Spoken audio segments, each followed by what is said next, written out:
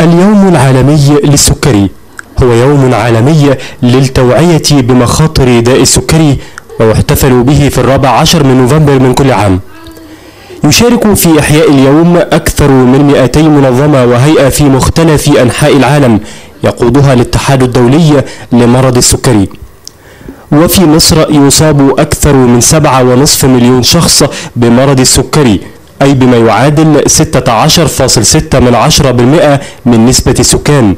وفي حال استمرار هذه المعدلات فمن المتوقع وصول الحالات إلى 12 مليون مريض بحلول عام 2030 وفي منطقة الشرق الأوسط ككل يعاني 36 شخصا بالغا من مرض السكري ومن المتوقع أن يصل عدد حالات السكري على مستوى العالم إلى 552 مليون حالة بحلول عام 2030 والسكري هو مرض مزمن يحدث عندما يعجز البنكرياس عن إنتاج مادة الأنسولين بكمية كافية أو عندما يعجز الجسم عن استخدام تلك المادة بشكل فعال مما يؤدي إلى زيادة تركيز السكر في الدم.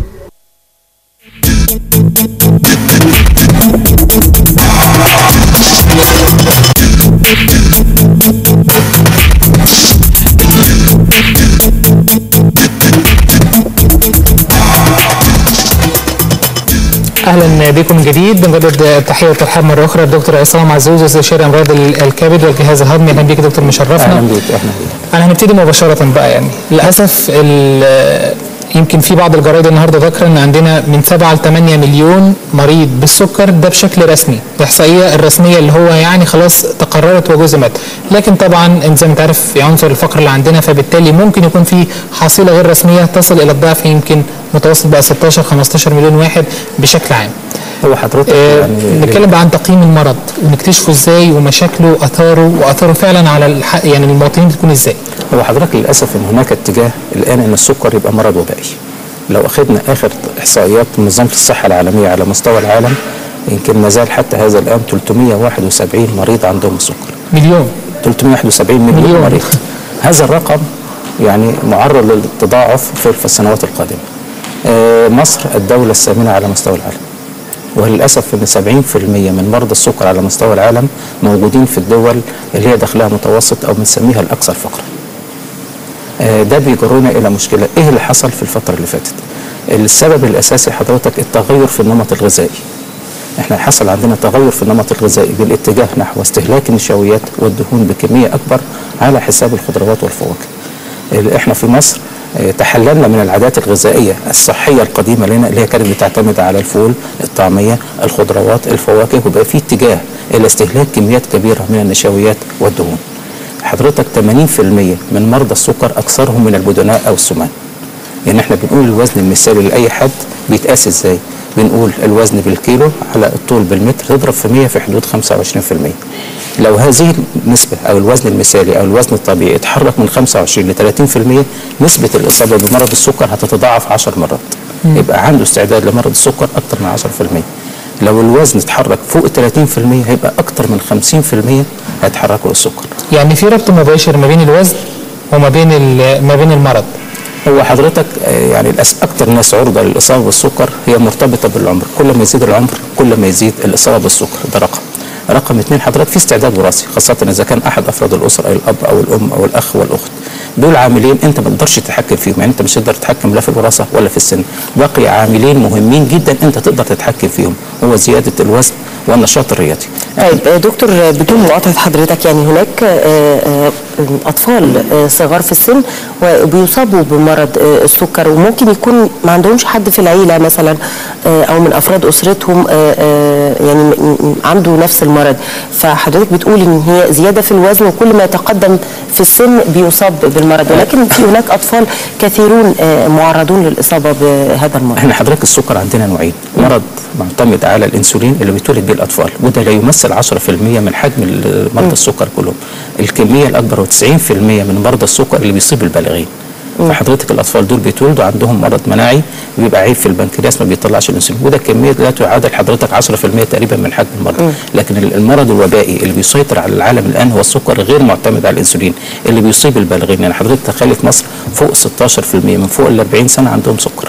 آه، للأسف حتى النسبة بدأت تزحف لسن أقل من كده. يعني 30% من الأطفال النهارده عندهم سمنة أو بدناء. فهو مرض مرتبط بارتباط وثيق بالتغيرات الغذائية بضغوط الحياة بالنمط الغذائي اللي إحنا عايشينه. يعني هو يمكن مرض السكر يعني إحنا عندنا مجموعة من الأمراض آه، المزمنة منها أمراض ال- القلب والاوعيه الدموية والسرطان وامراض الجهاز التنفسي. يعني هل نقدر نقول إن السكر آه، بقى من ضمن هذه المجموعة آه، آه، الخطيرة من الأمراض أو الأمراض المزمنة؟ هو حضرتك إحنا بنقول يعني للمرضى إن السكر ما بقاش مرض إن السكر ده حضرتك بنسميه خلل في التمثيل الغذائي. أنت محتاج إنك تتعايش معاه. وفي مثل إنجليزي بيقول لك إذا لم تستطع محاربة عدوك فتعايش معه. فإحنا بنقول للمريض السكر إن السكر ده رفيقك في الطريق. هتصاحبه هيصاحبك. هتتجاهله هيدمرك. لأن السكر بيأثر على كل أعضاء الجسم. التحكم الجيد في مستوى السكر بيجعل المريض يعيش حياته كأنه إنسان طبيعي. لكن هناك ارتباط وثيق ما بين السكر وما بين جميع أعضاء الجسم السكر بيأثر على شبكية العين. بيؤثر ممكن يؤدي إلى إصابة المية البيضاء ممكن يؤدي إلى إصابة المية الزرقاء وارتفاع ضغط العين.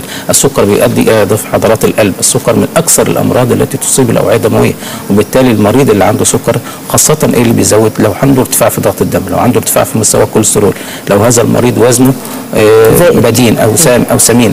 كل ده بيؤدي إلى الاصابه بارتفاع ضغط الدم. عندنا ارتباط وثيق ما بين السكر وما بين اختلال الدهون خاصة الدهون الثلاثية. والدهون منخفضه الكثافة ارتفاع ضغط الدم. الثلاث الثلاث الثلاث دول أكتر ناس بيخلوا المريض يخش في كل مضاعفات على جميع أجهزة الجسم. طب دكتور بنتكلم عن نقطة ال- الشفاء من العلاج.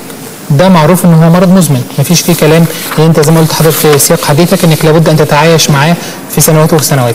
لكن هل في فرص للشفاء من المرض أم تتعايش معاه بس؟ لا حضرتك السكر مرض يمكن السيطرة عليه. السيطرة عليه بس يمكن السيطرة. عليه لكن مش الشفاء منه. لا حضرتك ما هو الش- الشفاء منه حضرتك بيرتبط بإيه؟ إن وزنك ينزل. لازم يبقى فيه تغيير جذري في النمط الغذائي بإنك تعتمد في الأكل على السلطة والخضار والفاكهة وتقلل من النشويات والدهون. وتمشي حضرتك باستمرار تتابع تحليل سكر على الأقل فترات مثلا كل ثلاث شهور كل ست شهور. على الأقل يبقى فيه فحص قاعين على الأقل يبقى فيه تشيك لكل الناس اللي خاصة فوق سن 40 سنة. أكتر ناس برضو السيدات اللي حص- حصل, حصل لهم إصابة بالسكر أثناء الحمل. هذه السيدة معرضة للإصابة بالسكر بعد كده. ده السكر العرضي بس هو السكر الحمل يعني السكر الحمل السكر العرضي. لكن حضرتك السكر مرض يمكن السيطرة عليه. بس السيطرة بس ما أقدرش أقول لك النهارده أنا مش هاخد العلاج خلاص أنا الحمد لله بقي 80 عندي اللي هو الحد الأدنى فأنا مش هبطل العلاج خلاص. آه يعني أنا أنا أنا فهمت من عمرو إن هو يعني هل يعني هناك بعض الأمراض اللي ممكن آه، الشفاء منها يعني بتاخد ال- ال- ال- السكر. الدواء وبعدين بتوصل لمرحلة إن أنت بتخف بعد كده. بطل. ولكن آه، السكر ما اعتقدش إن هو كده. لا حضرتك ده ممكن يحصل إمتى؟ لو في سبب أدى للسكر لو في أدوية أدت إلى السكر يعني حاجة عرضية أدت لارتفاع السكر. لكن لو هو السكر بطبيعته لكن هيبقى مرض مزمن والمريض هيستمر في العلاج. طيب آه، السكر عامة بيصاحب بالتهاب في الأعصاب. صح؟ تمام. هو حضرتك التهاب الأعصاب وارد في مرضى السكر لكن بيرتبط كل ما تزيد المدة خاصة فوق العشر سنين. يعني كل ما تزيد مدة الإصابة بمرض السكر ومدة عدم التحكم الجيد في السكر الاثنين مع بعض. لكن لو السكر في المستوى الطبيعي مش هيحصل التهاب في الأعصاب. فهي مرتبطة ارتباط وثيق ما بين مدة المرض كل ما طول مدة المرض بشرط إن عدم التحكم في السكر. الاثنين مع بعض يعملوا التهاب في الأعصاب. طيب آه، يعني في بعض ال- الحالات بيكون التهاب الأعصاب شديد جدا آه، آه، حتى لو كان السكر في معدلاته الطبيعية. يعني هل مرتبط التهاب الأعصاب بالنسبة لمريض السكر مع زيادة نسبة السكر في الجسم ولا